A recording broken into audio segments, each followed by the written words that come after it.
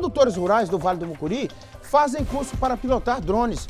O objetivo deles é melhorar a capacidade de produção no agronegócio da região. Aí é coisa boa de se mostrar, né, Fantoni? Fala para mim. Nicomedes, produtores rurais do Vale do Mucuri estão passando por um curso de pilotagem de drones, como utilizar drones.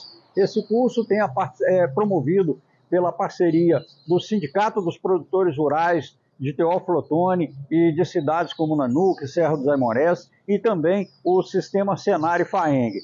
Ao pilotar os drones, os produtores rurais eles ganham a oportunidade de melhorar a eficiência e eficácia do agronegócio ou dos, do, do, dos serviços das fazendas, das lavouras, eles podem fazer monitoramento de animais, podem fazer monitoramento das lavouras, eles podem fazer dimensionamento de áreas, enfim, uma série eles estão aprendendo o que é possível fazer com a utilização de drones.